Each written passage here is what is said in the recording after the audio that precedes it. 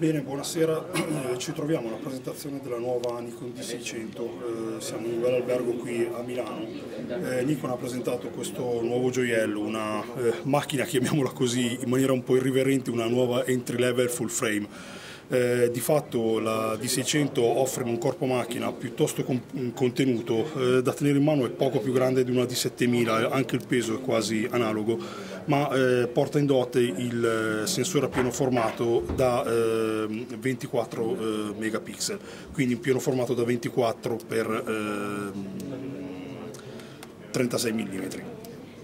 La macchina, come dicevo, è molto compatta, molto gradevole da, eh, da maneggiare. Abbiamo nella parte eh, posteriore un nuovo eh, display che viene mutuato dalla D800 con diagonale da 3,2 ehm, pollici eh, con risoluzione di 921.000 punti. Disposizione abbastanza classica dei tasti eh, tipica di casa Nikon, eh, quindi qui sulla sinistra una sequenza di tasti, il pad con il tasto di, eh, di conferma.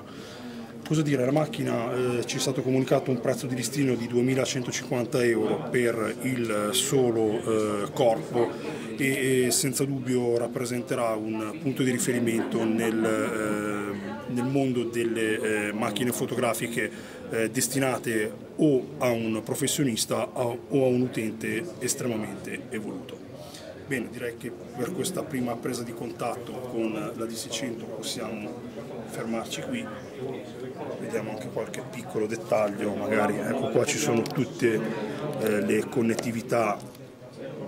della macchina, le porte HDMI, le porte USB, eh, la macchina sarà anche compatibile con un accessorio wifi eh, tipo quello che si era già visto sulla D3002 che permetterà eh, di, eh, alla D600 di dialogare con periferiche wifi, quindi di condividere in tempo reale eh, i contenuti, eh, sia eh,